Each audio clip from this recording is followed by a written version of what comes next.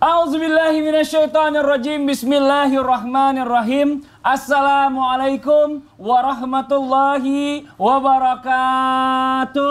Waalaikumsalam warahmatullahi wabarakatuh. Jamaah, oh jamaah. Alhamdulillah. Alhamdulillahirabbil alamin. Allahumma sholli ala sayyidina Muhammad wa ala ali sayyidina Muhammad. Jamaah Islam itu dan dirahmati Allah.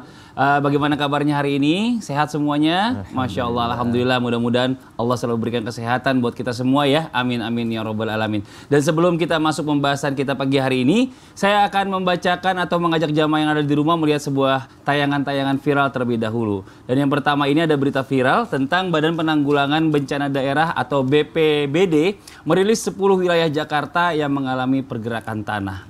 Nah ini mungkin kita bisa lihat sama-sama Ustadz Syam ya kalau misalnya tanah udah mulai bergerak ini, ini berarti ada perubahan dari uh, struktur bumi kan? Eh, masya Allah. Yang yang Allah. yang bergerak atau semakin bergeser, yang ini menyebabkan pastinya akan ada gempa, banjir dan lain-lain pastinya nih. Masya Allah. Dan salah satu hikmah yang kita bisa ambil, apa pun bisa digerakkan oleh Allah Subhanahu Wa Taala. Hmm. Jadi kalau kita berpikir, ah ini batu tidak bergerak, ini tanah tidak bergerak. Tapi kalau Allah yang menginginkannya, ida arada syai'an ayyakula lahu kun fayakun. Kalau dia Allah menginginkan sesuatu tinggal kun fayakun. Jadilah maka akan terjadi apa pun yang diinginkan oleh ya, Allah Subhanahu Mungkin kita lihat dulu kali Ustaz Syam ya pergerakan Boleh. tanah yang dimaksud itu seperti apa sih? Mungkin coba kita lihat tayangannya ini dia tayangannya jemaah.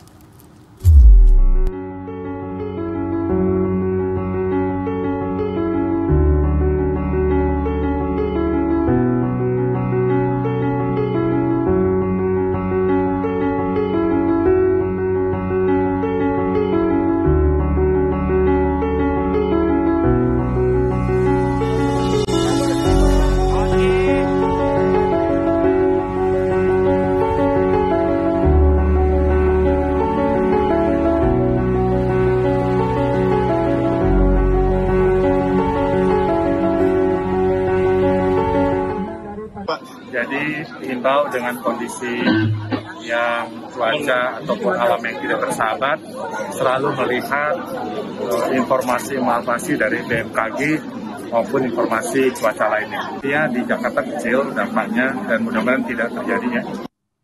Ini kalau kita lihat pergerakan tanah begini biasanya rumah-rumah yang terjadi banyak banget nih zaman sekarang ini yang mungkin rumahnya ada retak-retak kali. Ya. Nah ini juga salah satu pengaruh atau faktor dari pergerakan atau pergeseran tanah nih kayaknya Ustaz Ya.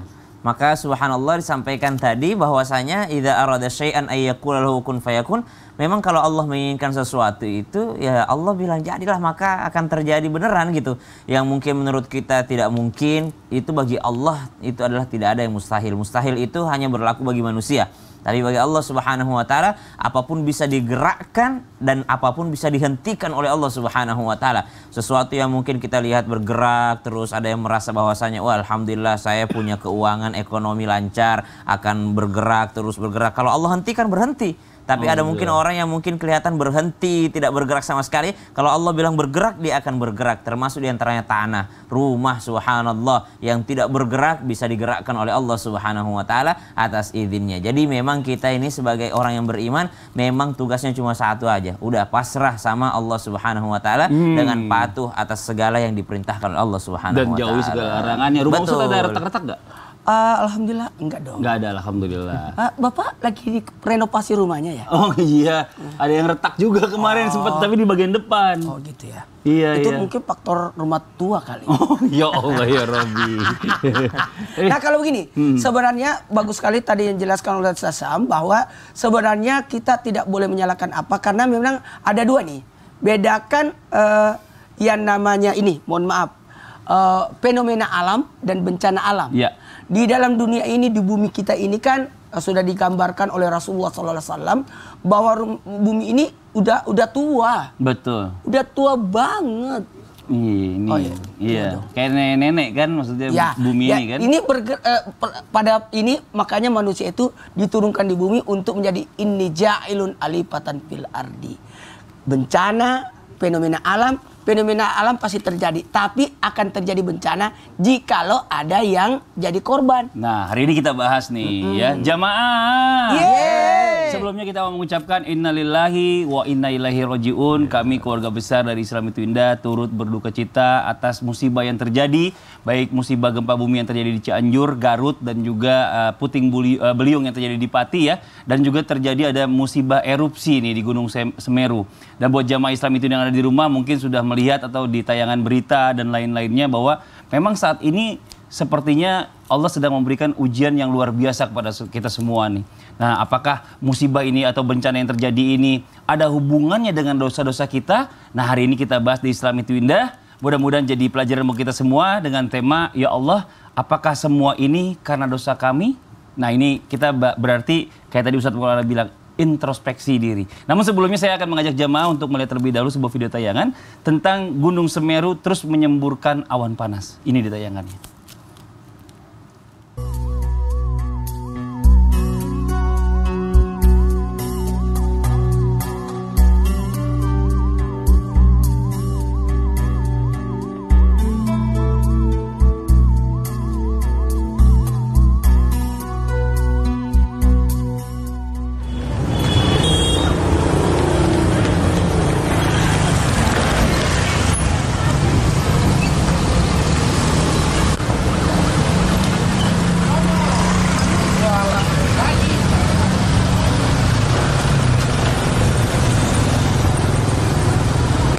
dihubungi nggak kena apa Cem ya? Anu nih. Apa informasi terakhir dari teman-teman ini ABG saat ini sudah sampai 11 kilo terus meningkat lagi nih kita ini saat ini kita berupaya untuk menghimbau kepada masyarakat yang ada di sekitar aliran sungai untuk menjauhi dan mengamankan.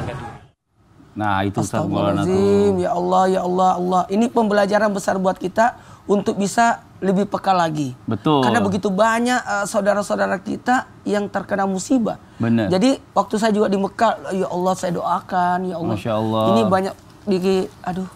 Ya tapi ya buat buat buat jamaah yang ada di rumah ini juga harus ada eh, edukasi ya. Banyak kemarin saya lihat dengan kejadian seperti ini erupsi ini banyak orang justru lepas masker. Justru bahaya. Pakai terus maskernya karena debu-debu vulkanik kecil-kecil itu justru menyerang ke paru-paru bisa pernapasan akutnya. Na- Nauzubillah min zalik. Nah ini Ustadz Syam kita coba kembali lagi kepada tema kita pagi hari ini Ya. ya. Apakah ah, kita lihat eh, bencana atau musibah alam yang terjadi ini ya saat-saat ini apakah memang ini ada kaitannya dengan dosa-dosa kita nih? Apakah kita perlu disadarkan diri kita sendiri bahwa ya Allah, apa sih yang kita lakuin sampai semuanya ini kok bisa terjadi gitu loh? Mohon izin penjelasannya Ustaz Syam. Tafadhol. Bismillahirrahmanirrahim. Tabi Ustaz Afif, Ustaz Maulana, Mas Fadli serta guru-guru kami yang dimuliakan Allah Subhanahu wa taala. Alhamdulillahi rabbil alamin wassalatu wassalamu ala asyrafil anbiya'i wal mursalin sayyidina Muhammadin wa ala alihi wa sahbihi ajma'in. Asbahna wa asbahal mulku lillahi rabbil alamin subhanak la ilma lana illa ma 'allamtana innaka antal alimul hakim. Rabbi syrah li sadri wa yassir li amri wa hlul uqdatan min lisani yafqahu qawli waj'al li wazira min ahli amin amin amin ya rabbal alamin. Jamaah Islam itu indah yang dimuliakan Allah Subhanahu wa taala. Usikum wa nafsi bitaqwallah. Kami berwasiat untuk seluruh jamaah dan diri kami pribadi, diri kami sendiri agar senantiasa meningkatkan ketakwaan, keimanan kepada Allah Subhanahu wa taala karena beberapa hari belakangan atau beberapa pekan belakangan terlihat bencana alam di mana-mana. Lalu kita subhanallah diminta oleh Allah Subhanahu wa taala agar kembali kepada Allah Subhanahu wa taala. Sebagaimana Allah Subhanahu wa taala berfirman dalam surah Ar-Rum ayat 41. Ba'da naqul a'udzu billahi minasyaitonir rajim. ظهر الفساد في البر والبحر بما كسبت أيدي الناس ليذيقهم بعض الذي عملوا لعلهم يرجعون. Jikalau ditanyakan apakah ini berkaitan dengan kesalahan manusia itu sendiri yang Allah Subhanahu wa taala utus ke muka buminya Allah Subhanahu wa taala, maka Allah berfirman, "Dhaharal fasadu fil barri wal bahri bima kasabat aydin nas." Telah nampak, telah jelas daripada kerusakan yang ada di atas muka buminya Allah, di tanah dan di laut disebabkan karena tangan-tangan manusia atau ulah-ulah manusia itu sendiri. Maka liyudhiqahum ba'dalladzi amilu la'allahum yarji'un. Ditunjukkan kepada para manusia agar mereka mau kembali kepada Allah Subhanahu wa taala Nabi Shallallahu Alaihi Wasallam mengingatkan, tidaklah suatu umat, suatu kaum ditimpa daripada bencana ataupun ditimpa daripada penyakit yang tidak ada sebelumnya kecuali mereka sudah menampakkan daripada perzinahan, daripada fawahish, daripada fahisha, kekejian secara terang-terangan. Maka Nabi mengancam bagi orang-orang yang sudah mempertontonkan daripada kekejian, maka Allah akan mengirimkan kepadanya penyakit yang belum ada sebelumnya. Subhanallah. Itu yang pertama. Yang kedua, tidaklah suatu kaum yang menahan zakatnya, menahan daripada sedekahnya, zakatnya yang wajib yang diwajibkan oleh Allah Subhanahu wa taala, kecuali kata Nabi sallallahu alaihi wasallam Allah juga akan menahan hujannya.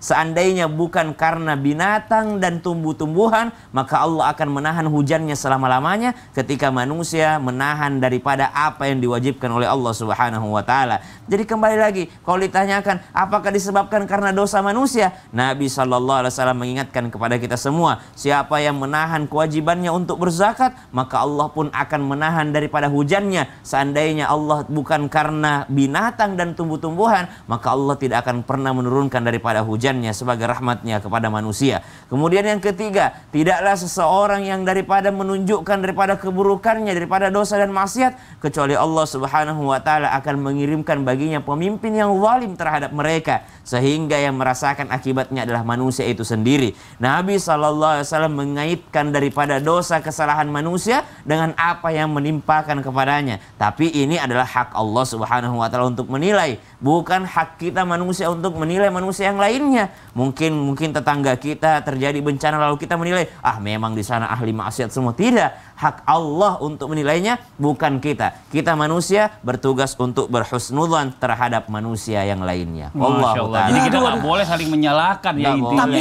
tapi ini nih, ini nih Inilah banyak manusia tidak ada kepeduliannya kepada sesama lingkungan, Contoh. kepada masyarakat. Ya sekarang kan banyaknya nauzubillah. Apa tuh? Ada namanya kaum LGB, LGBT apa namanya? LGBT. Ya itu. Nah, Waduh, apa kenapa? Ah, biar aja, bukan anak saya, bukan keluarga saya. Ya, tapi itu kan penyakit sosial dan bisa jadi nauzubillah kan. Tapi dan kalau ini juga bisa mengundang bahaya juga nih. Tapi tapi gini Ustaz, saya kan teringat hmm. akan janjinya hmm. Allah kepada apa tuh? Nabi Muhammad SAW. Karena katanya Allah ini uh, nggak uh, mau ngasih atau uh, uh, Allah ini udah mengabulkan doanya Rasulullah SAW bahwa nggak akan yang namanya sampai akhir zaman ini dikasih azab atau ditimpa azab. Nah sekarang yang terjadi saat ini kita coba tanya sama Ustadz Afif nih. Nah. Ya. Ustadz, uh, ini yang terjadi sekarang ini azab atau musibah atau ujian, atau, ujian, ujian. atau fenomena alam. Mau izin penjelasannya apa ini yang terjadi saat ini sebenarnya? Insya Allah. Sam, Maulana dan Safadli. Bismillahirrahmanirrahim. Alhamdulillah wassalatu wassalamu ala Rasulillah wa ala ali wa sahbi wa mawala la haula wa la quwata illa billah. Musibah yang terjadi di mana-mana subhanallah kita meneteskan air mata namun kemudian yang lebih meneteskan air mata adalah Nabi Muhammad sallallahu alaihi wasallam. 14 abad yang lalu beliau menjamin kita Wa ma arsalnaka ila rahmatan lil alamin. Tidaklah kami utus engkau hai Muhammad sebagai rahmat bagi seluruh alam. Inilah kemudian keutamaan umat Nabi Muhammad. Tatkala umat Nabi Muhammad SAW membantah Allah, membangkang, tidak menjalani aturan dari Allah Subhanahu wa taala, umat ini tidak ditimpakan secara keseluruhan. Dahulu umat-umat terdahulu bila melakukan kesalahan satu umat dihajar oleh Allah Subhanahu wa taala. Inilah rahmat bagi umat Nabi Muhammad SAW. Namun kemudian satu ketika Abu Bakar As-Siddiq rahimahullah taala radhiyallahu an beliau melihat uban di sisi rambut dan beberapa jenggot Rasulullah SAW. Kemudian beliau bertanya, Arok kasyibta ya Rasulullah. Aku melihat ada uban di sisimu ya Rasulullah. Kemudian kata Rasulullah SAW, Sayyabatni bihut wa akhwatuha. Yang membuat aku ubanan adalah surah Hud dan seluruh surah tentang keguncangan hari kiamat, bala bencana. Itu yang membuat Rasulullah beruban. Jika kita beruban, apa yang membuat kita beruban?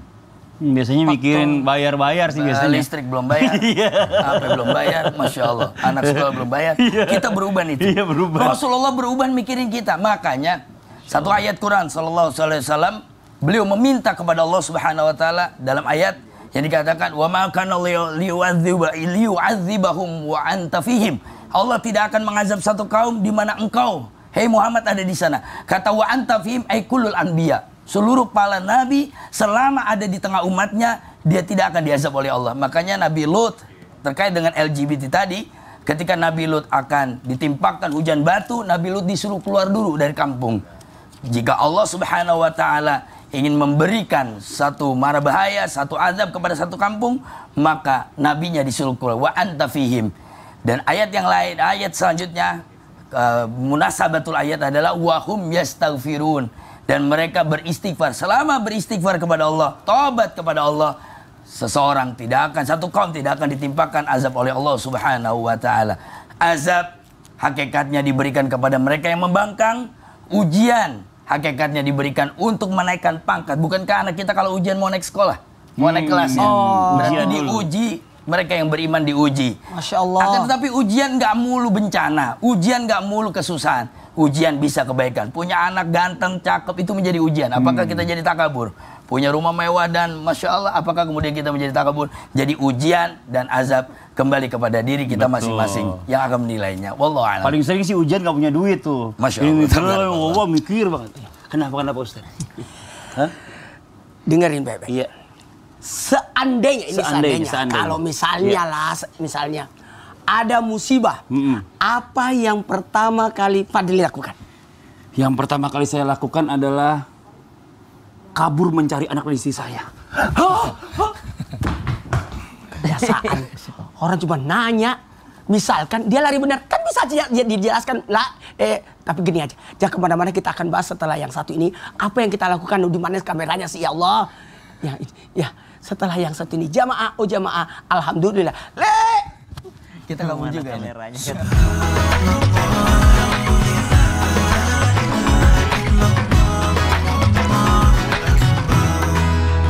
Jamaah, oh jamaah, alhamdulillah. Semangat dong.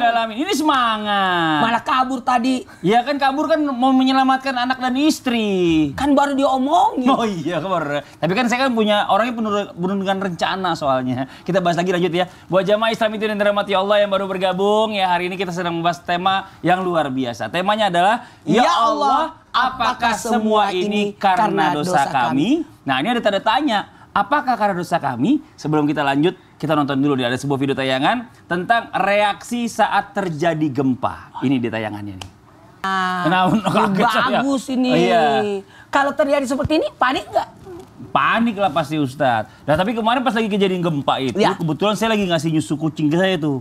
Kucing saya baru lahir. Ya. Dia nggak, ibunya nggak nyusuin, saya lagi nyusuin. Gue, eh, kayak goyang-goyang. Terus saya nanya sama orang rumah kan, ini gempa gak sih? Kata orang rumah, nggak tahu pak. Oh ya, kok nggak tahu gitu. Nah ini bagaimana nih Ustadz Syam nih, mau Iya. izin nih.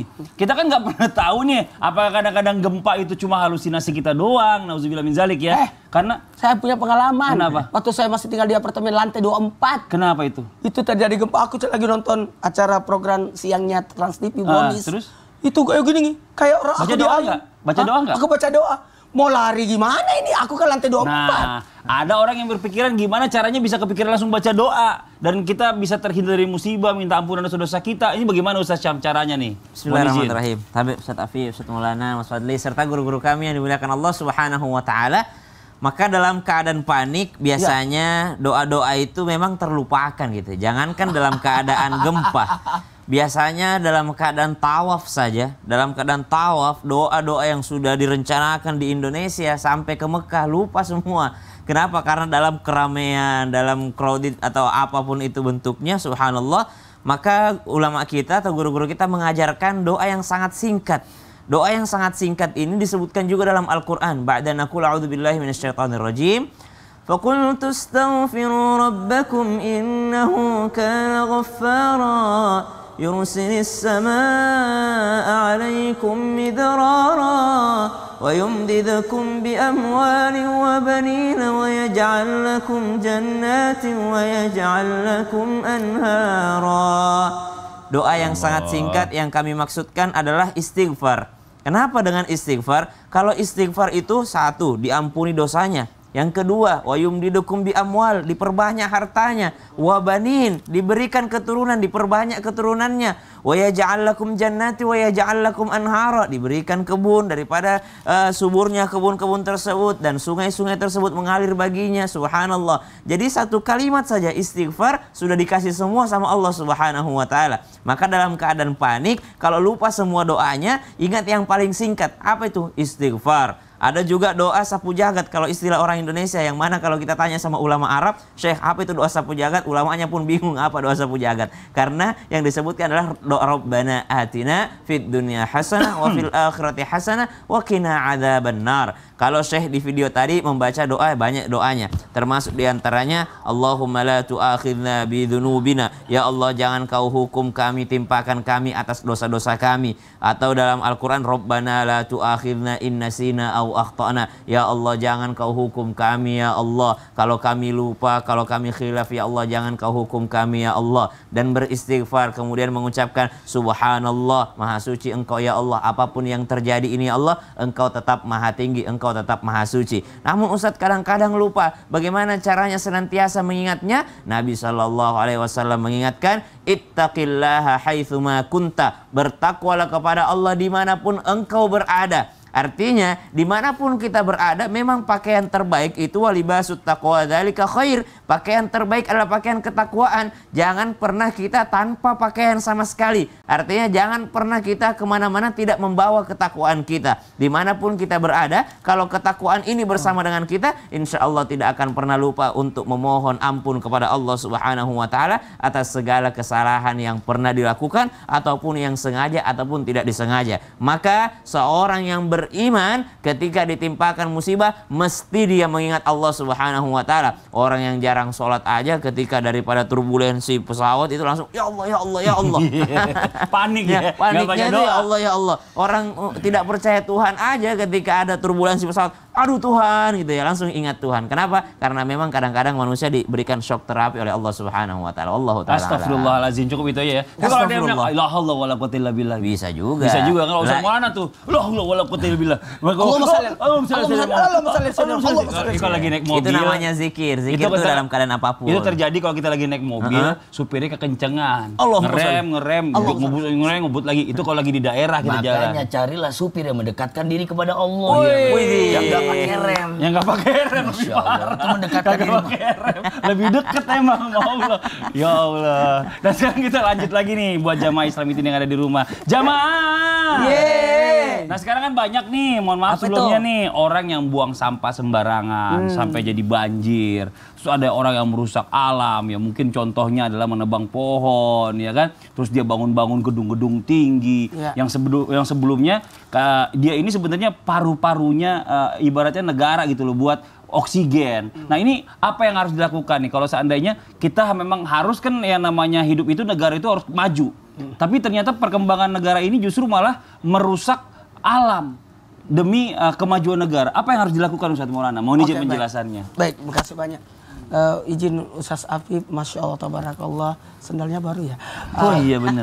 Oh masih ada merahnya belum dicopot. Maaf dicopot dulu ya. Ini kekuatan gempa. Ustaz Sam. Masya Allah. Bismillahirrahmanirrahim. Allahumma salli ala Sayyidina Muhammad wa ala Sayyidina Muhammad.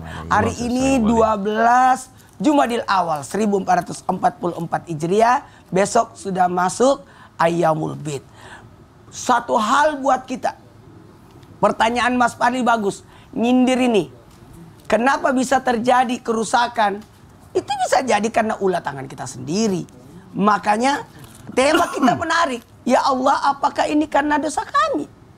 Ingat, bisa jadi karena kesalahan kita, kelalaian kita sehingga terjadinya masalah. Ada namanya hukum alam. Kenapa bisa terjadi? Karena memang keadaan seperti itu. Kita bisa belajar dari lingkungan yang ada di dunia ini. Orang-orang tua kita sudah ngajarin rumah-rumah kita ini adalah rumah panggung. Jadi kalau terjadi gempa aman ya. Karena memang pegangan. Apalagi tunggu dulu mohon maaf. Semua akan terjadi. Kenapa dari awal saya sudah sampaikan ada namanya fenomena alam. Yang namanya di pinggir laut ada namanya pasang surut air.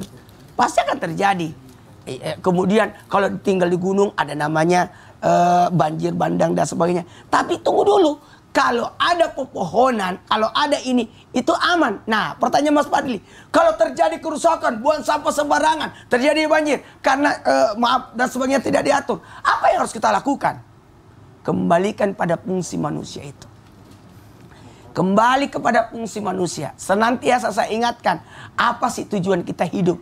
Selain kita menyembah kepada Allah, ternyata kata Allah kepada para malaikat, ini ja'ilun alifatan fil ardi. Untuk menjadi pengurus, urus bumi, bumi ini. Dan alhamdulillah betul diingatkan tadi bahwa sebenarnya sudah diaturkan. Ada namanya ini uh, uh, un- untuk pemukiman, Islam tidak menolak yang namanya pembangunan, tidak. Tapi ada namanya penataan, ada namanya keilmuan, ada namanya pengaturan, diatur yang mana. Makanya kalau mau bangun rumah ada namanya IMB. Izin mendirikan bangunan. Nah, dan sebagainya. Dan ada para ahli. Namanya kembali lagi, fenomena alam tidak akan terjadi bencana jikalau tidak ada korban jiwa. Korban jiwa. Nah, ini yang harus dicamkan. Jadi yang dilakukan kembali ada tiga ini. Apa tiga itu? Tegurlah. Tegurlah.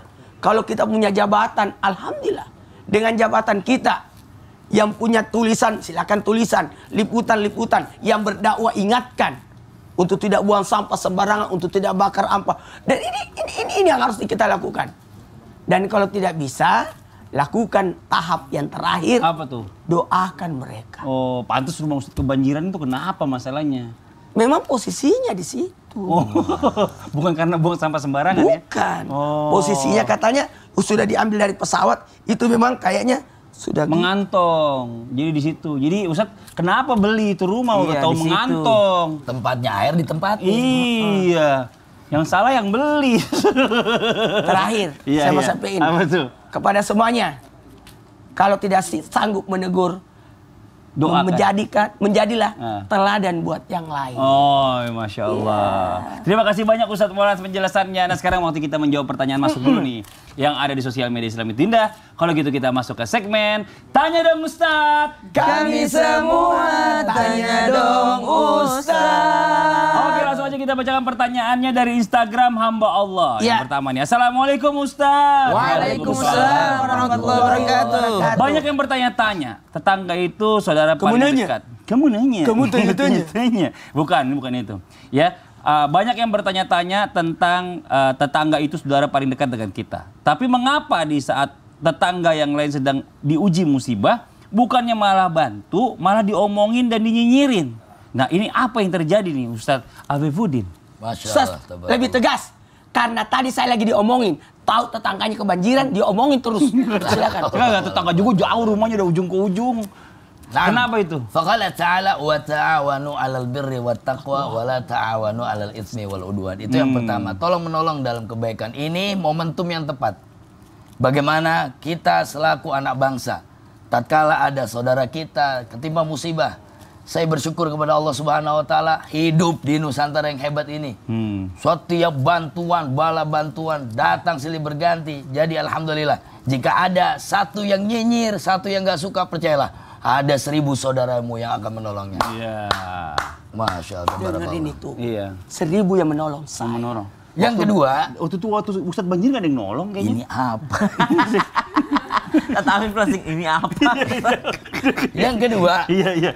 Uh, Jibril alaihissalam mengajarkan Nabi Muhammad dalam riwayat untuk berbagi kepada tetangga, mengasihi tetangga, berbuat baik kepada hatta dzanantu annahu yur asayurasuhu. A- Aku mengira tetangga itu mendapatkan warisan. Oh. Saking baiknya kepada tetangga. Subhanallah tabarakallah. Nah, kita mudah-mudahan dengan momentum ini kita harus baik kepada tetangga. Iya, benar. Hilangkan sifat-sifat Hilangkan sifat-sifat. Ya Ustadz. Maulana nggak usah sifat nyinyir. Masya Karena kalau. Ustadz Maulana banjir, tetangganya juga banjir semua. Nggak ada, nggak ada yang nyinyir. Lah kita semua kebanjiran gimana dong gitu ya kan? Nah ini masya Allah. Kita masuk ke pertanyaan yang berikutnya dari Instagram. Kita masuk, kita manyuk sih. Kita masuk ke Insta, eh, pertanyaan yang berikutnya dari Instagram hamba Allah. Assalamualaikum Ustadz. Waalaikumsalam warahmatullahi wabarakatuh. Ustadz, saya sedang diuji musibah. Ibu mertua saya demen banget ngutang. Dan sekarang ibu mertua saya nggak tahu bersembunyi di mana. penagih hutang, semua nyerang ke saya. Bagaimana saya bisa melewati musibah eh, dari ibu mertua saya yang ternyata berhutang sampai satu miliar Ustadz? Allah. Allah. Tapi oh, wajib gak sih utang mertua yang ngebayarin anak atau menantunya? Aduh, kita nggak ikut campur nih. Kita nggak punya utang kan? Kita coba tanya siapa? Aman. Saya siapa suruh jawab? Yang punya mertua baru. Iya, iya. Ustaz Syam mau di sini jawab. Silakan Ustaz Syam. Iya. Tapi Ustaz Afif, Ustaz Maulana, Mas Fadli. Jadi apa namanya bridgingnya itu saya nggak punya hutang kita suruh jawab. Kayak seakan-akan yang menjawab punya hutang gitu.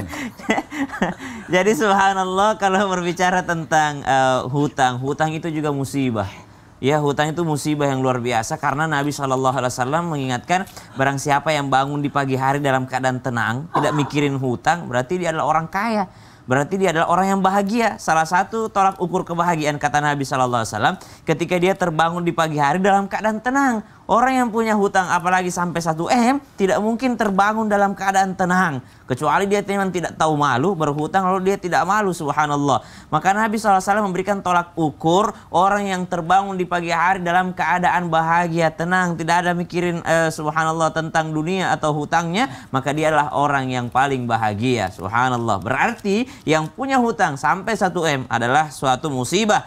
Dan bahkan yang lebih musibah lagi bukan hutang dia, bukan dia yang berhutang, tapi ternyata mertuanya. Nauzubillahi min dzalik. Apakah seorang anak wajib untuk membayarkan hutang orang tuanya? Apakah seorang menantu wajib membayarkan hutang daripada mertuanya?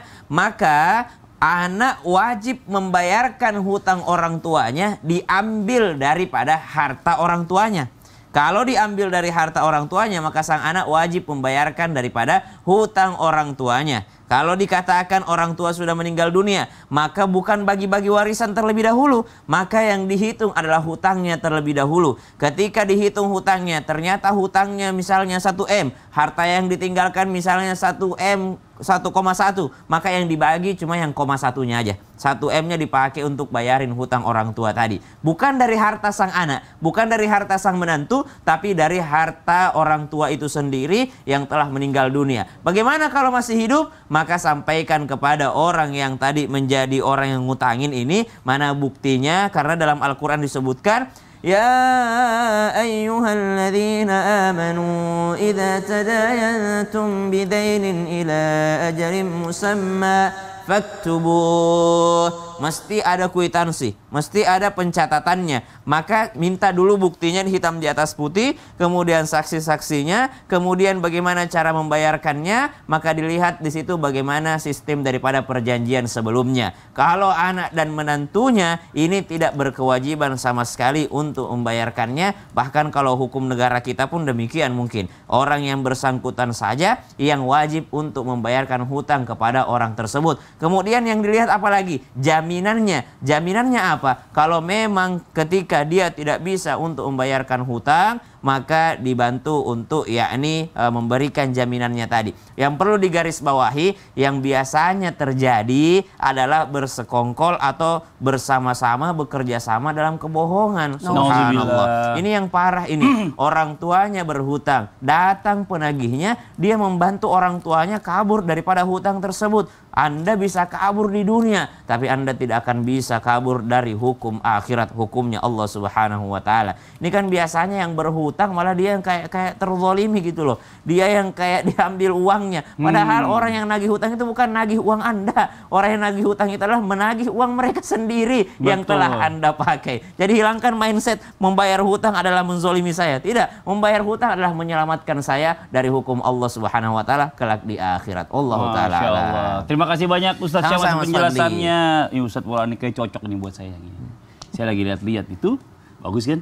Tuh, tapi mahal banget harganya. Baik-baik deh. Harus kenapa? Baik-baik. Oh, baik-baik, bukan doain. Doain dong biar dapat. Bukan itu maksud saya. Ini bisa jadi musibah juga bencana loh. Loh, kenapa jadi bencana? Kan saya diminta didoain biar dapat. Kalau dapat kan saya senang, Ustaz juga senang. Gini aja. Hah. Kenapa? Ini kan mau jual beli kan? Ini saya mau beli, pengen dibeli. Beli kan? Iya. Berarti ada yang penjual, ada pembeli. Iya. Itu bisa jadi bencana juga. Kok bisa gitu? Ah, makanya kita akan bahas setelah yang satu ini. Bahaya terjadinya ketika terjadi proses jual beli, ada terjadi bencana. Setelah yang satu ini jamaah oh jamaah alhamdulillah. Ya, Ini nggak boleh coba orang seneng gitu. Coba ya. Oh, orang seneng lagi musibah.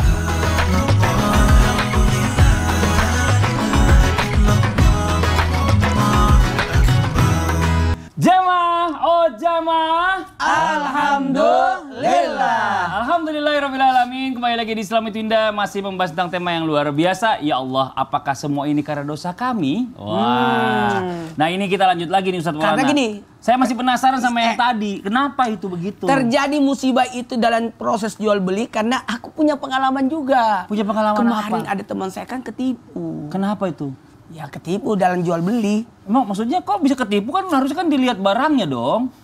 Kan tidak semua ada yang gila ada bertengkar. Kan terjadi ah gampang ambil dulu eh terus ada masalah. Ternyata ada tujuan yang lain, ternyata dia ada nipu di situ. Oh, nah ini kan masih bingung kan kalau seandainya orang jual beli ini kan banyak yang benar juga gitu. Nah tapi kita pengen tahu sama Ustaz Syam kita tanya Ustaz Syam. ya. Mohon izin Ustaz Syam nih.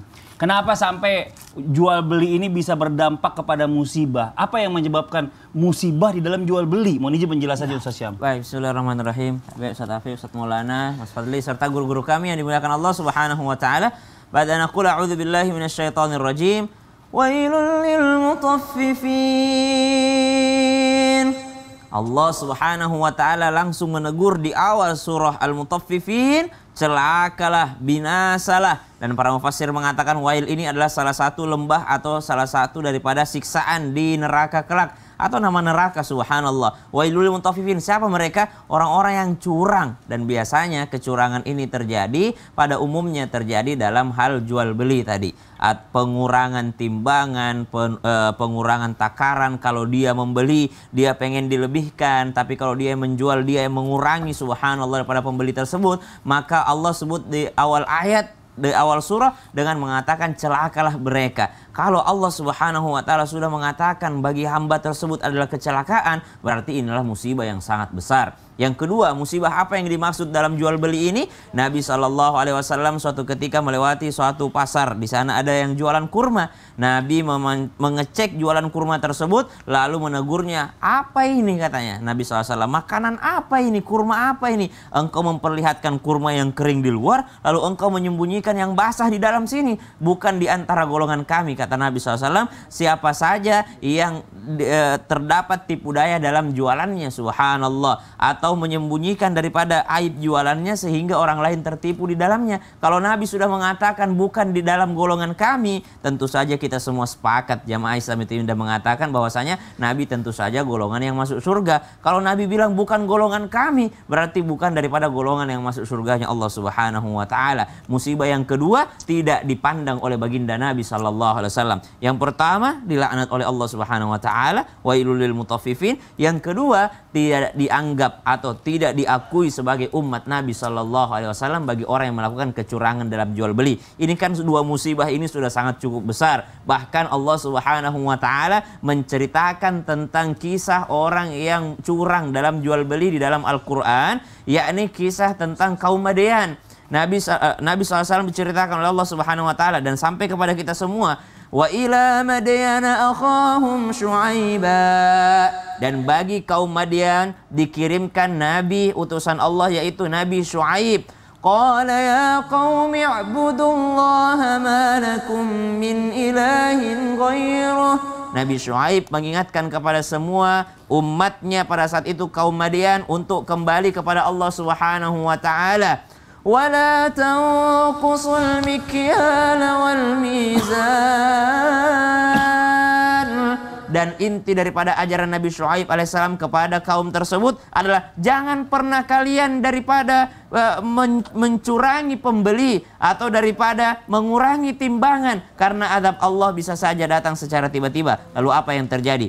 Kota Madian dikenal subur, lalu Allah Subhanahu wa taala menahan daripada tumbuhan tersebut dan membuat mereka hancur lebur bersama dengan barang dagangannya karena pada saat itu terjadi kecurangan yang luar biasa. Wallahu taala. Madin itu yang ada di Petra Jordania ya, Betul. benar ya. Yang kita Di- pernah datang itu ya. Betul, diadab oleh Allah Oh. Subhanahu dengan gempa bumi. Oh, makanya di sana Petir. sekarang tandus gitu aja ya. Betul. Maksudnya walaupun udaranya dingin, kalau lagi musim dingin, tapi kering nggak ada pohon-pohonan Dan di tahu sana. nggak itu menghilang itu. Menghilang seluruh Dan tidak ada yang tahu di mana lokasinya. Allahu Cuma Akbar. orang Arab yang Allah Ta'ala. Jadi perjalanan sampai orang Eropa waktu itu. Itu eh, ikutin orang. Dia pura-pura masuk Islam. Supaya tahu di mana itu Petra itu berada. Oh, Subhanallah. Masya Allah, luar biasa. Nah sekarang kita lanjut lagi nih Ustaz Maulana nih. Kan aku ada juga waktu itu. Oh iya, yang ikut ya. Saya pikir nggak Iya. ikut. Kemarin kan nggak ngajak saya Di umroh. mana sih? Samping Cilengsi ya? Bukan jauh. Jordania mahal. Mata uangnya ya Allah. Mau jajan kayak orang susah kita di sana. kita lanjut lagi nih Ustaz Maulana izin nih. Katanya musibah tuh datang kata, katanya karena dosa-dosa kita yang kita pelihara. Contoh mungkin pelit, kikir sama keluarga. Ya. Tapi kan yang namanya keluarga itu kan nggak semuanya juga pinter dikasih kepercayaan. Ada juga yang udah dibantu ternyata disalahgunakan. Nah, ini apa yang harus dilakukan nih Ustaz Maulana? Mohon izin. Baik, Bismillahirrahmanirrahim. Makasih banyak, Masya Allah, Tabarakallah. Izin Ustaz Afif dan Ustaz Sam. Masya Allah, Tabarakallah. Ya sudah pintar, barakah makan. Alhamdulillah. Berapa hari dilatihnya? Bentar doa langsung aja. Disembur. gitu. Baik, Bismillahirrahmanirrahim. Allahumma salli ala sayyidina Muhammad wa ala sayyidina Muhammad. Pembelajaran yang terbaik dalam hal sedekah. Sedekah yang terbaik ketika kita bersedekah kepada siapa? Kita dulu. Kita dulu. Kita dulu, kita dulu, kita dulu, kita dulu, kita dulu, kita dulu, kita dulu, kita dulu, kita dulu, kita dulu, kita dulu. Kemudian kepada sekitar kita, keluarga kita yang menjadi tanggung jawab kita. Kemudian saudara-saudara kita, keluarga, tetangga kita dan seterusnya. Kenapa? Karena berdampak yang terdekat adalah diri kita. Jangan pelit dengan diri. Jangan pelit dengan diri. Jangan pelit pada siapa? Keluarga. Karena di situ ada kewajiban nafkah dan sebagainya. Dan ingat, saudara, maaf, sebaik-baiknya orang lain tetap orang lain. Ya mungkin kita berkata saudaraku itu jelek, jahat, pelit. Ih, jangan Tapi ngomong begitu, saudara Ustadz lagi nonton. bukan ini, kan contoh. Masa dibilang Ustadz saudara yang sungguh-sungguh, kayak Nggak sungguh-sungguh gitu ya ngomong. Ya Allah. Saudara tuh ganteng, Saudara baik. iya, saudara saya baik semua. iya. Ya udah, saudara dibilang jelek. Ah, saudara, tapi bagaimanapun jahatnya, pelitnya, jahatnya saudaramu, dia adalah tetap saudaramu. Maka tetap, tetap berbaik, tetap bersedekah. Ingat, ingat, ingat, eh, Sayyidina Abu Bakar pernah diingatkan karena pernah menahan bantuan kepada keluarganya yang masuk dalam kategori memfitnah Aisyah. Oh. Padahal dia selalu dibantu oleh uh, Sayyidina Abu Bakar. Tapi langsung diingatkan. Karena ini bahaya. Ingat, ingat. Ketika kita membantu saudara, pahalanya dua kali lipat. Dua kali lipat. Apa dua kali lipat pahalanya itu? Pahala sedekah dan pahala silaturahmi. Persoalan dia jahat, persoalan dia pelit, jangan balas dengan keburukan, tapi balas dengan kebaikan. Kalaupun gini, dia nggak, aku nggak mau bantu dia, tapi minimal kau bantu anaknya. Karena anaknya tidak begitu. Jangan sampai ya Allah nauzubillah summa nauzubillah. Siapa lagi yang membantu kita kalau bukan dia? Mungkin dia tidak eh, tidak membantu secara fisik, tapi bisa jadi dia mendoakan kita. Bisa jadi dia membanggakan kita. Makanya jangan pernah terhasut. Jangan pernah terhasut apalagi berkaitan dengan satu darah. Ini ini ini perasaan yang kau sakiti adalah ibumu, yang kau sakiti adalah ayahmu. Makanya maaf, maaf, maaf. Itu kepada tetangga saja kalau kita berbuat jahat kepada tetangga, dosanya 60 kali lipat dibanding dosa kepada orang lain. Bagaimana dengan keluarga? Bagaimana dengan saudara? Ini, ini selalu saya pikirkan. Ketika melihat saudara yang kita ingat siapa? Ibu kita. Kita kayak lihat saudara, ih, saya lihat kakaknya Mas Padli yang cewek. Ah, ingat ibunya Mas Padli. Semakin mirip sama mama Mirip saya, banget, almarhum. ya Iya. Allah. Lah, ada pengajian. Iya. Dat, ih, kok mirip banget. oh dia pengajian yang tahu sih Ustadz Maulana. Iya. Oh ya Allah, jangan terlalu banyak main jauh-jauh. Ntar pas gila syuting ngantuk. Enggak dong, ya Allah. Aduh, ntar lemes lagi syutingnya. Sih di mana-mana. Makasih banyak Ustadz Maulana penjelasannya. Nah sekarang kita lanjut lagi Ini pembahasan nih. berikutnya. Ini yang paling bahaya juga. Apa tuh? Ternyata Ah, ah. tanpa kita sadari Ah, ada musibah yang terjadi ketika tidak mau peduli dengan jihad. Ah, tapi kan jihad sekarang kan beda. Kalau dulu jihad Rasulullah jelas, ya kan membela agama. Iya. Nah kalau sekarang orang banyak menyalah artikan yang namanya jihad. Nah sekarang coba mungkin kita minta penjelasan sama guru kita Ustadz Afif. Yang selalu dibawa teman-temannya. Iya, Itu anak muridnya. buahnya, anak buahnya. Eh, bukan muridnya. Muridnya. Itu jihad juga itu. Oh iya benar-benar. Gimana Ustadz Afif kalau ternyata ini jihad ini ada hubungannya dengan musibah. Jihad yang seperti apa yang dihubungkan dengan musibah? Mohon izin penjelasannya. Jihad itu bukannya baik ya? Silakan. Tabarakallah. Ustaz, izin ya Ustaz Maulana. Bismillahirrahmanirrahim. Jihad yang dikatakan di dalam ayat Al-Quran adalah jihad sesungguhnya bagaimana seseorang bersungguh-sungguh melakukan kebaikan. Saya tidak katakan jihad itu ngebom. Banyak orang salah kaprah terhadap sebuah jihad. Jihad yang paling berat adalah melawan diri sendiri. Oleh karenanya, barangkali apa sih korelasinya antara jihad dengan musibah? Kita bisa tarik surah wattaqu fitnatan la- wattaqu fitnatan la tusibanal ladzina zalamu minkum khassah. Takutlah kamu kepada sebuah fitnah, sebuah ujian, sebuah musibah yang kalau sudah diturunkan oleh Allah bukan cuman orang zolim doang. Nah, maksudnya itu. Boleh jadi orang melakukan kemungkaran dan sebagian melakukan kesalehan. Tapi kan yang soleh akhirnya kena ketika orang diazab. Ketika azab atau musibah Allah Subhanahu wa taala datang dalam bentuk murkanya Allah, yang kena bukan cuma orang yang zalim doang. Yang kena bukan orang yang suka minum minuman keras aja. Yang suka naudzubillah bermain perempuan aja. Yang suka berlaku zalim Mm-mm. aja. Sebentar. Kita kasih kesempatan tetangga kita batuk. Silakan Pak mau batuk. Sudah. udah, udah batuk. Iya, lanjut. Itu berjihad. Iya, iya, Demi iya. jihadnya dalam Tetangga saya mau batuk. capek-capek. Masya Allah, Gitu-gitu tabarakallah. kasihan ya kan. Saya Jadi jihad sesungguhnya man ra'a minkum munkaran kata Nabi, kalau ada lihat kemungkaran segera falyughayyir biyadi. Kalau ada buang sampah sembarangan, kita langsung kalau memang dia tidak bisa ditegur, kita ambil sampahnya, kita masukkan ke kantong sampahnya dia, Wah. ke kantong bajunya dia. Oh, itu kantong baju, jihad. kantong sampah. Kantong bajunya dia Jangan kalau nggak kantong, kantong baju jangan dong. Kasihan. kita kadang-kadang menganggap bahwa jihad itu sesuatu yang besar, apa me- menghegemoni sebuah masyarakat untuk kemudian ngebom dan naudzubillah min dzalik.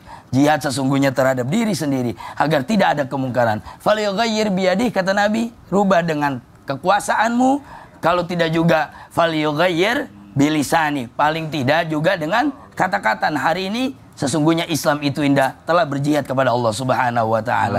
Yang ketiga, maka fabi kolbi. Dzalika adhaful iman. Ya paling tidak hati kita mengatakan bahwa ini adalah kemungkaran. Nah saudara yang dirahmati Allah subhanahu wa ta'ala percayalah. Setiap kemungkaran pasti ada balasannya dan kita wajib menegurnya. Menegur wajadilhum billati hiya ahsan. Setidaknya menegur dengan cara yang baik. Menegur dengan cara yang memang dianjurkan oleh syariat. Tidak menegur dengan cara yang kasar. Itu juga bagian dari jihad. Nah kemudian jihad yang lebih besar adalah bagaimana angkara murka seperti tadi disebutkan LGBT, uh, minuman keras, mabok-mabokan, perjudian itu bisa dihindarkan. Kemudian ini memerlukan uh, sebuah uh, korelasi masyarakat. Sebuah kolektivitas jihad secara bersama-sama. Walladzina jahadu fina lanahdiyannahum subulana. Orang yang bersungguh-sungguh jihad maka kami akan bukakan pintu. Bukakan pintu apa? Bukakan jalan kami untuk kebaikan, kemakmuran, akan diangkat azabnya dari Allah Subhanahu wa taala. Dan jihad itu tidak mengenal lelah. Rasulullah SAW dengan keringatnya, dengan seluruh tumpah darahnya, beliau berjihad di jalan Allah dari yang terkecil kemudian yang terbesar. Bila di masyarakat kita ada pembalakan liar, maka jangan biarkan pembalakan liar, memotong hutan dan lain sebagainya Iya. itu dibiarkan. Ini merupakan sebuah jihad. Benar. Jihad secara kolektif yang bisa kita lakukan bersama-sama. Jadi kalau misalnya- jihad bukan punya jagoan doang. Iya. Dan kita semua bisa jadi jagoan. Nah, jadi kalau misalnya kita diamin aja orang membalak apa menebang pohon liar segala macam, kalau kebanjiran kan kita juga kena kebanjiran. Karena erosi kan kita juga kena erosi. Itu yang terjadi Gitu. banjir bandang. Nah. Karena tidak ada yang menahan tanah. Iya. Dengan adanya pohon itu kan menahan tanah. Benar. Sehingga air-air itu kan masuk ke dalam. Benar. Nah sekarang kita lanjut lagi nih. Saya akan Ya. kembali membacakan pertanyaan masuk yang ada di sosial media. Selamat Tinda. Kalau gitu kita kembali ke segmen Tanya dong Ustadz. Kami semua tanya dong Ustaz. Kita masuk ke pertanyaan dari Instagram hamba Allah. Ya. Assalamualaikum warahmatullahi wabarakatuh Ustaz. Waalaikumsalam warahmatullahi wabarakatuh. Benarkah ada sebuah doa yang bisa merubah musibah menjadi nikmat? Dan bagaimana jika musibah itu datang bertubi-tubi hingga menghabiskan seluruh harta, menghilangkan nyawa orang-orang yang kita cintai? Nah ini bagaimana Ustadz Syam? Ada doanya nih, mohon izin. Fadol. Ya. Baik, Bismillahirrahmanirrahim. Tabe guruku, Ustaz Afif, Ustaz Maulana, Mas Fadli serta guru-guru kami dimuliakan Allah Subhanahu wa taala. Nabi Shallallahu alaihi wasallam mengajarkan kita sebuah doa ketika tertimpa musibah. Doa ini adalah doa yang ada di dalam Al-Qur'an atau biasa kita sebut juga dengan kalimah thayyibah atau kalimat yang baik, kalimat terpuji yang mana ketika kita tertimpa musibah mestinya kita membaca daripada kalimat ini. Ba'da naqul a'udzu billahi minasyaitonir rajim. الذين إذا أصابتهم مصيبة قالوا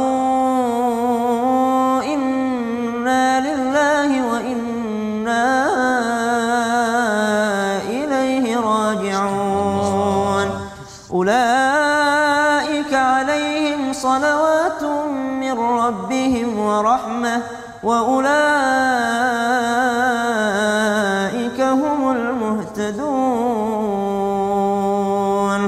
Allah Subhanahu wa taala dalam surah Al-Baqarah menjelaskan bahwasanya setiap kita pasti akan diuji dengan kelaparan, kesusahan, kemiskinan, kematian, kekurangan dan itu semua adalah ujian dari Allah dan Allah Subhanahu wa taala memberikan selamat bagi mereka yang mampu bersabar. Di antara ciri kesabaran mereka yang mengucapkan ketika tertimpa musibah, inna lillahi wa inna ilaihi raji'un. Semuanya adalah dari Allah dan akan kembali kepada Allah Subhanahu wa taala. Lalu setelah Allah Subhanahu wa taala menyebutkan musibah, Lalu di tengah-tengahnya ada kalimat istirja inna. Setelah itu Allah sebutkan ulaika alaihim salawatum mir rabbihim rahmah. Mereka ini yang akan mendapatkan rahmatnya Allah Subhanahu wa taala, mendapatkan keselamatan dari Allah Subhanahu wa taala. Artinya merubah musibah yang tadinya di awal ketika membaca innalillahi wa inna ilaihi raji'un dengan penuh kesadaran dan keimanan ketakwaan kepada Allah Subhanahu wa taala, Allah rubah daripada musibah tadi menjadi rahmatnya Allah Subhanahu wa taala wa ulaika humul muhtadun dan mereka ini orang-orang yang diberikan hidayah oleh Allah Subhanahu wa taala. Berarti kalau ditanyakan, adakah bacaan atau kalimat yang bisa merubah musibah menjadi nikmat, yang bisa merubah musibah menjadi rahmat Allah, bisa merubah musibah menjadi hidayah dari Allah Subhanahu wa taala adalah kalimat inna lillahi wa inna ilaihi raji'un. Lalu di antara kalimat inna lillahi wa inna ilaihi raji'un ini Nabi menambahkan sebuah doa, Allahumma jurni fi musibati wa khairam minha. Ya Allah, Allahumma jurni ya Allah berikan aku jar berikan aku daripada uh, pahala di antara musibah yang aku uh, rasakan ini ya Allah. Artinya kita memohon pahala dari musibah yang ada. Bukan memohon uh, keselamatan saja tapi memohon pahala dari apa yang menimpa kita. Bukan memohon digantikan sama Allah saja tapi memohon pahala atas apa yang menimpa kita. Ya Allah berikan aku pahala atas musibahku ini ya Allah. Wakhlufli dan gantikan padaku khairam minha sesuatu yang baik daripada apa yang engkau ambil, sesuatu yang dari, lebih baik daripada musibah yang engkau timpakan kepadaku. Hadis ini ya diriwayatkan bahwasanya ada kisah daripada uh, ketika Nabi SAW menjelaskan pada doa ini, Ummu Salamah mengamalkan daripada apa yang diajarkan Nabi. Kata Ummu Salamah ketika suami saya meninggal dunia, saya membaca doa yang diajarkan oleh Nabi SAW. Inna lillahi wa inna ilaihi raji'un. Allahumma jurni fi musibati wa khluf li khairam minha. Lalu Allah menggantikan daripada suamiku ini, Allah gantikan dengan pasangan lelaki terbaik yang pernah Allah ciptakan yaitu baginda Nabi Muhammad sallallahu alaihi wasallam. Boleh kita sama-sama membacanya Ya. agar jamaah juga bisa mencatat dan menghafalkannya. Bismillahirrahmanirrahim. Bismillahirrahmanirrahim. Inna lillahi wa inna ilaihi raji'un. Inna lillahi wa inna ilaihi raji'un. Allahumma ajurni Allahumma jurni fi musibati Fi musibati wakhlufli wakhlufli khairam minha. khairan minha. Nah, semuanya milik Allah dan akan kembali kepada Allah. Ya Allah, berikan aku pahala atas musibah yang menimpa aku dan gantikan aku sesuatu yang lebih baik darinya. Jadi musibah itu bukan hanya kematian. Musibah itu banyak. Misalnya musibahnya kehilangan, musibahnya daripada sesuatu kekurangan, bisa jadi Allah akan menggantikannya dengan sesuatu yang lebih baik. Wallahu taala. Amin, amin, amin. Ya kalau kita kena tipu, bacanya ini aja juga ya. Bisa digantikan. Masya Allah. Terima kasih banyak Ustaz Syam. Sama-sama. Kita masuk ke pertanyaan yang berikutnya dari Instagram @fatimahjaya12. Assalamualaikum Ustaz. Waalaikumsalam warahmatullahi wabarakatuh. Aku lagi kena musibah. Boleh nggak saya bikin open donasi buat diri saya sendiri? Nah, ini gimana Ustaz Maulana? Boleh nggak? Nggak mau jawab? Kalau nggak mau jawab saya iklan aja deh. Yang di rumah jangan ke mana-mana ya. Tetap di Islam itu indah. Jamaah, oh jamaah. Alhamdulillah. Kita bikin open donasi buat beli rumah baru. Bisa nggak ya? Bisa nggak?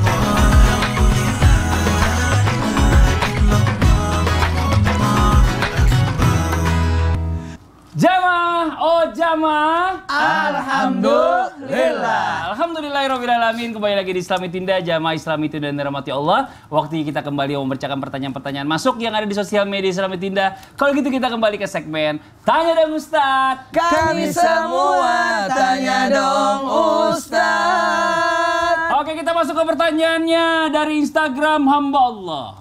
Assalamualaikum Ustaz. Waalaikumsalam warahmatullahi wabarakatuh. Akhir-akhir ini kita lihat kondisi berbagai negeri dan bahkan di negeri kita sendiri banyak bencana yang terjadi. Baik itu bencana alam, bencana moral, anak durhaka kepada orang tua, maksiat terang-terangan dilakukan dan bahkan sudah menjadi tren dan bukan aib lagi yang untuk ditutupi. Lalu apakah yang harus dilakukan bagi orang muslim agar keluarganya selamat dari huru hara akhir zaman ini Ustadz Maulana? Mohon Ada izin. tiga yang harus dilakukan oleh orang beriman. Hmm. Yang pertama, kuatkan keimanan itu sendiri. Hmm. Ketika orang punya iman, tidak akan mungkin dia berbuat dosa. Godaan kata iblis akan kugoda manusia dari depan, belakang, kanan, kiri. Tapi kata Allah ada yang tidak bisa kugoda yang memiliki iman. Makanya ketika orang berbuat dosa, pada saat itu imannya tercabut. Keluar. Lalu dia melakukan dosa. Tidak akan mungkin orang bisa melakukan dosa selama masih ada imannya. Maka dikhawatirkan orang yang suka berbuat maksiat, dosa itu selan, senantiasa dia keluarkan imannya, keluarkan imannya. Dikhawatirkan imannya tercabut. Yang kedua, tingkatkan kepedulian. Ah, hari ini kita bahas tingkatkan kepedulian, bukan nafsi-nafsi. Jangan membiarkan orang melakukan maksiat dosa, tapi tingkatkan kepedulian kita, perhatian. Bagaimana kalau dia anak kita? Ah, tidak masalah. Ibarat satu kapal yang lobanin dibawa, kita kan yang tidak peduli. Karena kalau dia tenggelam, kita ikut tenggelam. Apalagi tugas manusia yang ketiga, ibadah khalifah ketiga, amal ma'ruf nahi munkar. Hmm. Itu yang harus dicamkan. Kalau kita mengaku orang beriman, berarti minimal orang selamat daripada perbuatan keburukan kita. Itu yang dicamkan. Kalau ada orang mengaku beriman, tapi orang tidak merasa aman dari dirinya, berarti pertanyakan pada diri kita. Iya, oke. Terima kasih banyak Ustadz Maulana. Jadi dari depan, dari samping, dari kiri, kanan. Tadi belakang enggak kan? Ada dong. Belakang, bukan belakang tadi. belakang, belakang. Ya, terus kita lanjut ke pertanyaan yang berikutnya dari Instagram hamba Allah. Bingung? Bingung? bingung, bingung. Assalamualaikum Ustadz. Waalaikumsalam warahmatullahi wabarakatuh. wabarakatuh. Saya sedang diberi musibah. Mertua saya beberapa waktu lalu jatuh sampai akhirnya dia nggak merasakan anggota tubuhnya. Dan akhirnya sekarang membutuhkan dana yang banyak karena eh, karena harus tiap bulan harus cek ke dokter. Bagaimana caranya aku bisa melewati semua ujian ini Ustadz? Kadang kita aja setiap bulannya masih merasa kurang. Dan sekarang kita harus tiap bulannya menyisihkan uang buat cek ke dokter. Nah ini Ustadz Afifuddin ini kadang-kadang orang-orang kita ini kurang sosialisasi juga tentang Nah. BPJS ya maksudnya biar nggak terlalu ini juga Berat repot juga. kita berat, masya Nah. Allah. Bismillahirrahmanirrahim. Faqala ta'ala la yukallifullahu nafsan illa wus'aha. Allah tidak membanding seseorang kecuali orang itu punya kemampuan. Betul. Di Islam itu indah. Pertanyaannya semuanya hampir ke mertua. Berarti ini mantu-mantu soleh semua ini. Masya Allah. Masya Allah tabarakallah. Amin, amin, amin. Bagaimana mertua saya? Bagaimana tadi mertua saya utang 1 M, Hmm. yang satu mertuanya jatuh. Mertua ini. utang satu M yang nunjuk Ustadz Ma- Syam. eh, eh, Tadi, tadi juga Ustadz Syam jawab. Mertuanya Oleh alhamdulillah nggak punya karenanya, utang. saya kira ini bentuk bagaimana kita berbakti kepada mertua yang hakikatnya dia orang tua. Masya Allah. Apa pun akan kita kerahkan. Kalau kemudian Ustadz, ini saya berbagi antara rezeki saya secara pribadi dengan orang tua atau mertua yang kita lagi eh, obati. Maka jangan sampai rezeki yang kita punya untuk anak-anak kita, untuk suami kita, sampai habis untuk mertua kita. Nanti dibagi. Kan punya abang, punya adik, punya keluarga, ya dikumpulkan semuanya. Kalau syukur-syukur di saat itulah momentum agar mereka bisa bersatu. Bahwa bagaimana kita menolong orang tua kita. Ingat, tidak mungkin Allah kasih sebuah ujian kecuali kita sanggup memikulnya. Betul. Bila pun tidak sanggup memikulnya, maka kita serahkan kepada abang kita yang mikul.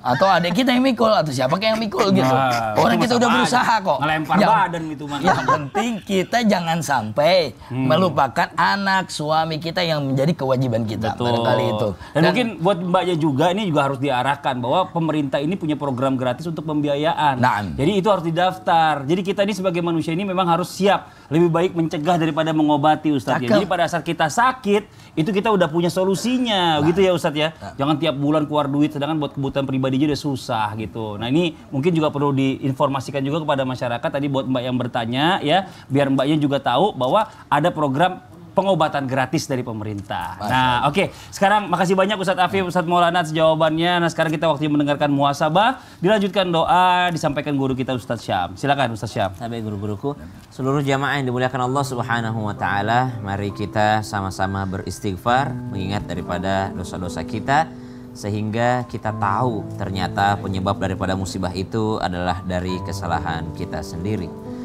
Astaghfirullah Rabbal baraya أستغفر الله من الخطايا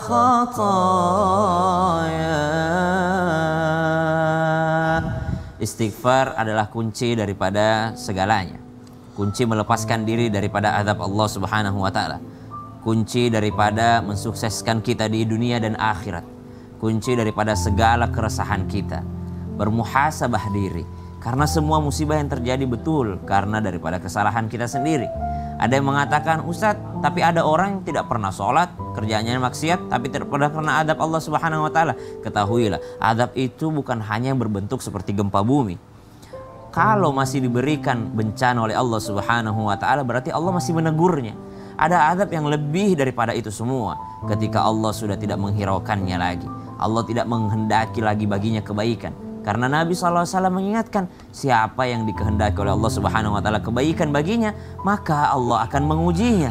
Bisa jadi yang menimpanya adalah ujian supaya dia semakin dekat kepada Allah Subhanahu wa taala dan bisa jadi yang kita pandang baik-baik saja, bahagia-bahagia saja, aman-aman saja kehidupannya, tentunya dia juga diuji oleh Allah Subhanahu wa taala. Banyak orang yang mampu lolos daripada ujian kemiskinan, dia mengingat Allah. Ujian sakit, dia mengingat Allah. Tapi ketika sehat, dia lupa sama Allah. Yang diuji dengan kemiskinan, dia ingat meminta kepada Allah. Tapi ketika kaya raya, mereka lupa kepada Allah Subhanahu wa taala. Ada yang diuji dengan ujian kegagalan, mereka langsung ingat kepada Allah. Ya Allah, saya harus meminta apa lagi kepadamu ya Allah. Tapi ketika diuji dengan kesuksesan, mereka lupa bersyukur kepada Allah Subhanahu wa taala. Maka ujian itu pasti ada, musibah itu pasti ada, tergantung bagaimana kita menyikapinya. Bismillahirrahmanirrahim. Alhamdulillahi rabbil alamin. Allahumma salli ala sayyidina Muhammadin nabiyil ummi wa ala alihi wa sahbihi wa Amin. sallim. ربنا لا تؤاخذنا إن نسينا أو أخطأنا Ya Allah jangan kau hukum kami atas apa yang kami lakukan Apa yang kami lupakan dan apa yang kami Amin, ya khilafkan Wa sallallahu ala sayyidina Muhammadin walhamdulillahi rabbil alamin Amin amin ya rabbal alamin. Masya Allah alhamdulillah demikianlah perjumpaan kita hari ini semoga bermanfaat. Sekali lagi mohon maaf atas segala kekurangan. Wabillahi taufiq wal hidayah. Wassalamualaikum warahmatullahi warahmatullahi wabarakatuh. Waalaikumsalam warahmatullahi wabarakatuh. Astaghfirullah Rabbal barak